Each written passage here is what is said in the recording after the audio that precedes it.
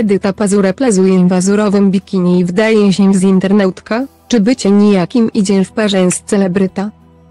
Edyta Pazura zdecydowanie przeszła bardzo długą drogę od momentu, gdy jako 19-latka spotkała Cezarego w pociągu relacji Kraków-Warszawa. Dziś para wciąż idzie razem przez życie wraz gromadka pociech, a opiekę nad dziećmi sprawnie go za z zawodowymi wyzwaniami. Przychodzi jednak taki moment, gdy trzeba odpocząć, dlatego Pazurowie wybrali się na kolejne wspólne wakacje. Zobacz też, Cezary i Edyta Pazurowie chwala się efektami katorżniczych treningów na rajskim urlopie, zdjęcia.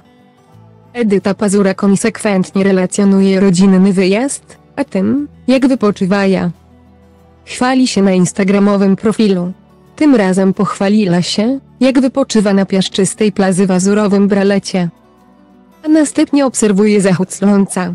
Jak zawsze mogła liczyć na poklask fanów, którzy doceniają, zań się tym z nimi podzieliła. Zachód słońca. Wrzucam parę zdjęć, bo magiczne chwile lubię szybko przemijać, napisała.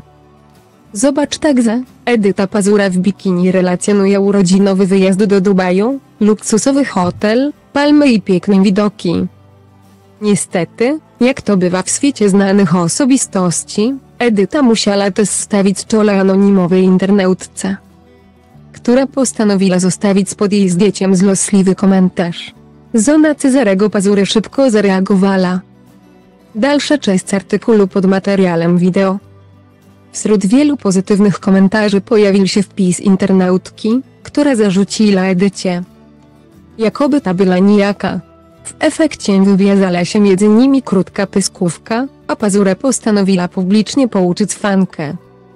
Żeby w kwestii dobrych rad zaczęła od siebie.